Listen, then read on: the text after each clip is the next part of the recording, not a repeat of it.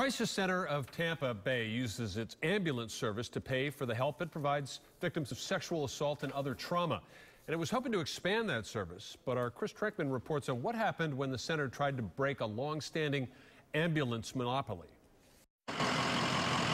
In the ambulance business, the money's not in emergency calls, but transporting patients between hospitals, where insurance pays for the rides. TransCare wants in on that business, but the Public Transportation Commission only allows two companies to do that.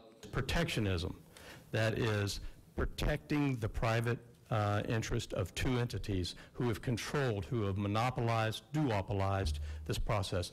The nonprofit Crisis Center of Tampa owns TransCare, which for 15 years has been closed out of hospital transports.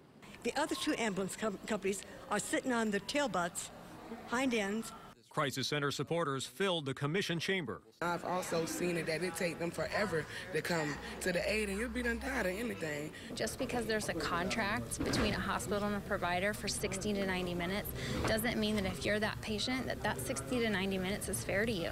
But American Medical Response, one of the two allowed transport companies, told the board competing against a nonprofit is unfair. It's a very unlevel playing field if you approve this because they'll run the rest of us right out of town. The board voted, and it was a 3 3 tie. In the order of a tie vote, the request fails. Leaving many supporters of the proposed reform outraged.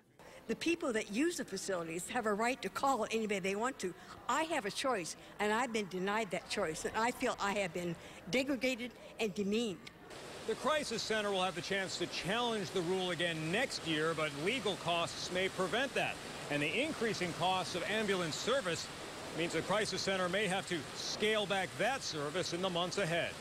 In Tampa, Chris Treckman, ABC Action News.